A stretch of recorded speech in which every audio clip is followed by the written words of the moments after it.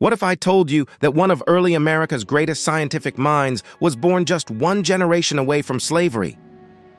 His name was Benjamin Banneker, the man who charted the stars while the world tried to chain him to the ground.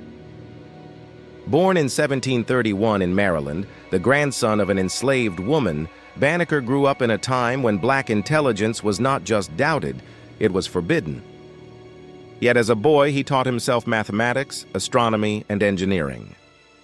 No schools, no teachers, only his own mind and the sky above. He built a working wooden clock entirely by memory, one that ticked with perfect precision for over 40 years.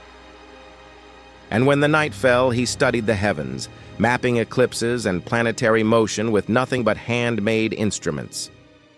His genius caught the attention of Thomas Jefferson himself.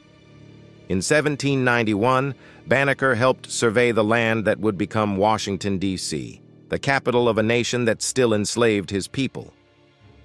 But he didn't stop there.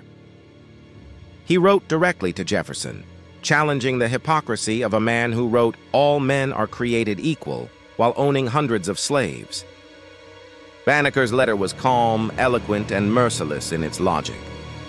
He reminded Jefferson that intellect knew no color, that truth was not bound by race.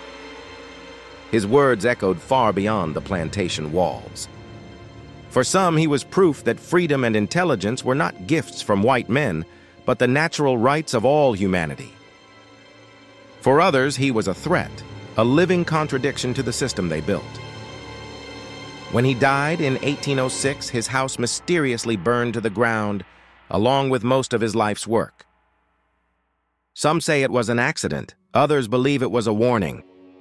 But the stars he charted still shine. And they whisper a question across centuries. Was Benjamin Banneker simply ahead of his time? Or was America centuries behind him?